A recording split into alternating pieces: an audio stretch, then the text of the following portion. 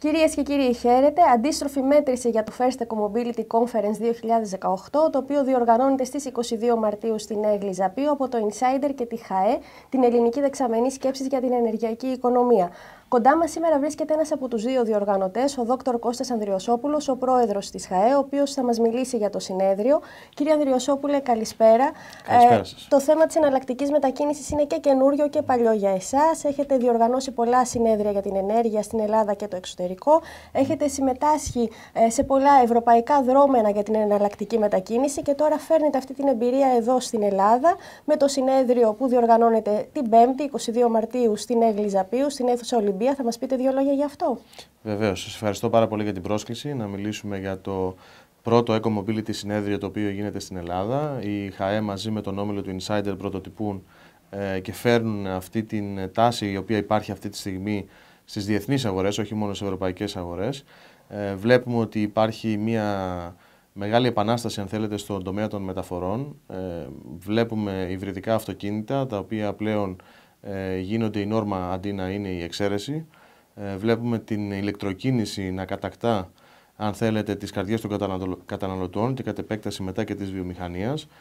Ε, επίσης, ε, έχουμε εξελίξεις στον τομέα της μεταφοράς, ιδίως για βαρέα αυτοκίνητα με, με υγροποιημένο φυσικό αέριο, με LNG. Ε, όλα αυτά λοιπόν είναι οι τάσεις, οι νέες τάσεις, ε, τα δρόμενα τα οποία συμβαίνουν αυτή τη στιγμή σε διεθνές επίπεδο, τα οποία θα τα συζητήσουμε, θα τα δούμε ε, και θα ε, κάνουμε τις απαραίτητες διαβουλεύσεις, αν θέλετε, για το θεσμικό πλαίσιο, με το ρυθμιστικό πλαίσιο στη χώρα μας, που βρισκόμαστε σε σχέση με, το, με τις διάφορες εμπορικές εξελίξεις και πιστεύω ότι αυτό θα έχει ιδιαίτερο ενδιαφέρον για όσους έρθουν και παρακολουθήσουν το συνέδριο. Και στο συνέδριο θα συμμετάσχουν βέβαια και εκπρόσωποι της κυβέρνησης, ε, διάφοροι πολιτικοί, θεσμικοί φορείς, εκπρόσωποι της αγοράς βέβαια. Θα δοθεί και ένα βήμα για να αναδειχθεί η σχέση που υπάρχει μεταξύ των εναλλακτικών καυσίμων και της ανάπτυξης και της οικονομίας. Γιατί απευθύνεται και σε επιχειρηματικό κοινό, έτσι δεν είναι; Βεβαίως, ε, προφανώς απευθύνεται σε επιχειρηματικό κοινό.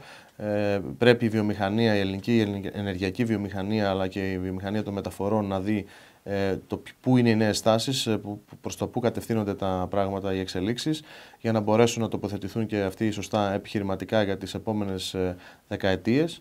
Ε, Βεβαίως, έχουμε επίσης και την τιμή να τελεί το συνέδριο υπό την αιγίδα δύο Υπουργείων, του Υπουργείου Ενέργειας και Περιβάλλοντος και του Υπουργείου Μεταφορών. Ε, οπότε από αυτό καταλαβαίνετε ότι θα έχουμε και τις ε, εισηγήσεις ε, υψηλόβαθμων στελεχών των Υπουργείων και τις νέες τάσεις όπως αυτές διαμορφώνονται αυτή τη στιγμή στο θεσμικό πλαίσιο στη χώρα μας.